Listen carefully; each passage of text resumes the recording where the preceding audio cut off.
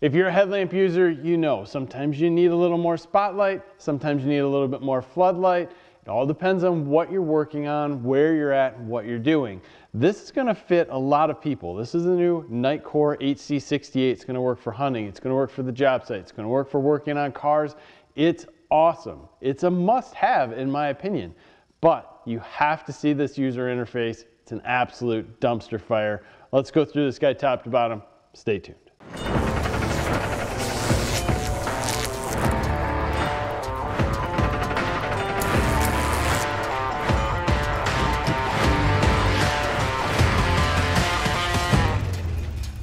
So here's a close-up view of the Nitecore HC68. Very comfortable, very easy to use. You have your spotlight on the right, flood lamp on the left. You have TIR lenses over top of this. You have some good lighting in here and you have a 4500K color temperature. So it's not gonna give you the blue hues. It's not gonna give you the yellow. It's gonna be perfect for most uses. Now the weird part about this is you have a button it's over here to turn this guy on. One tap. Now if we bring it down to low, which you have a minus sign and a plus sign, I can hold the plus sign and take it over to the spot. Hold the minus sign, I can take it back. Now if I go up one, I can't switch it, which is annoying to me. But if I am up one off the lowest setting, I can push the button and start to switch between the two.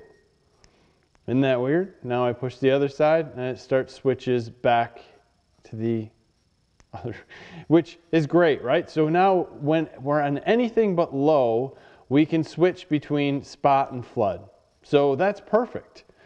I absolutely love that. It's just confusing because if it's on your head, what's that going to tell you? Now we're on both. And we kept the same amount of um, spot to flood and we can go up and down with the plus and minus. So that part is super cool. Now, if you're in anything but the lowest section and you want turbo, you can just push and hold the power button and you got turbo for 60 seconds. That puts both of these on super high, 2000 lumens, and you can see here we have light going everywhere in front of it 60 seconds drops down to whatever it was. So if it was off and you push and held turbo, it's gonna turn itself off. If it was on low, it'll go back to there. Boom, right here. So cool, right? Weird part, this also has red lights in it. And if we double tap, we get the red. I think this is great. If you're working on a car, you're trying to find different lights, you're whatever you're doing, you're on construction site, wonderful. You have red on low, red on high. Then you have a blinking red, and this is where I think it gets weird. You push it again, now you got what is like a beacon. So it's a flash. Push it again, and you have an SOS. Now the weird part about this is it's not it doesn't continue to go around. To get back, you have to push minus. So there's no circular pattern in this. It's just a plus and a minus. And when you get to the end, you're at the end. When you push the minus, you're at that other end. So getting through this, that's the basics. There's actually quite a bit more, but that's all you need to know to get really into this and say, you know, this is what I'm looking for. So let's look at the cool parts on charging. So if we take the left cap off, we can see we have an NL1835 HP battery, 3.5 amp hour, 8 amp output pretty nice. Now there are O-rings on each side. This comes with new O-rings. But the weird part when you look at it, you won't find the charging port. And this is a USB-C charging port. You have to unscrew the side over here to get to it, which is quite a distance.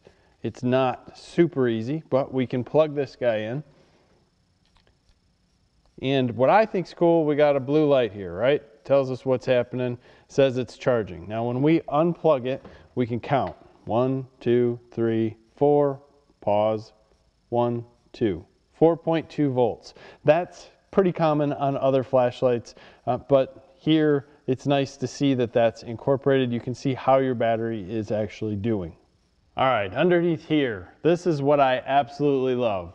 I have a spotlight here that I can move around and I have a floodlight that gives me light everywhere. I know it's tough to see with me moving my head around, and I get it. There's nothing to see underneath a brand new tractor. Uh, but if I go up, oh, that's down. So that's what, the down is on the left, up is on the right. Look at the amount of light I can get out of this thing in multiple areas. And if I push and hold, I get more flood. Push and hold to the other side, I get more spot. And I think that this is great if you can kind of get yourself right in the middle, right here. That gives you an immense amount of light and a perfect situation to get light in direct areas, but yet at the same point in time, light up everything around you. Let's get a little bit further away and just take a quick look at what this does. This is kind of a 50-50 of spot and flood. I have enough flood that I can see outwards with all my peripheral vision, but yet I have enough flood forward that I can spot something. And this is what's cool for outside.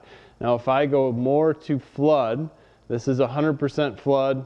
That is the most I'm gonna get. And it still lights up a ton of area. And I can drop down to next to nothing, which is really nothing on that I can see. It would be great for maybe inside a car or anything like that. Now if I just go here and I hold, I bring in the spot. Now I'm completely on the spotlight. But even with that spotlight, the way they have that dual lens, I still have enough light in my peripheral vision to walk outdoors, which is cool. But I think where most people are gonna use this, is gonna be somewhere in between. And then when you look at the amount of light that I can get without blinding anything, and if I want to work underneath something, I have a ton of light that I can get in certain areas without getting that white out. And I think that that part is cool. And then I can just drop this down to what I need and it's perfect. So it's an awesome light. Absolutely love what it does. I find it very hard to control and it might take some time once you get used to it. It just doesn't seem very intuitive. What's happening with it seems to be a little more complicated in some cases than it needs to be. And to try to do it while it's on your head and remember everything that this light will do, knowing that there's no circular pattern to everything, everything is up and down, it just kind of throws me. I'd love to hear what you think about it. And again, I've covered about 40% of what this light will do because I think that's what most people will want. And if I continued on into all the craziness that you can do here, I do believe I would just take some people right out of the market and say, that's not for me. So I gave you the simplest of simple versions of what happens here. I still screw it up while I'm using it, but I still grab this thing every time I'm underneath the vehicle because I can get light where I need it, not just around the shadows. I can get it through spots and into places where I really need it, or I can just light up large areas. And if I was out hunting, I have not had the chance to use this hunting yet, I can get more of a spot. It all depends on what I'm doing. Am I tracking? What? There's a lot here that is awesome. So definitely check that out. Appreciate your time, guys. Give us a like in the video, subscribe to the channel. Thanks for your time. Have a great day.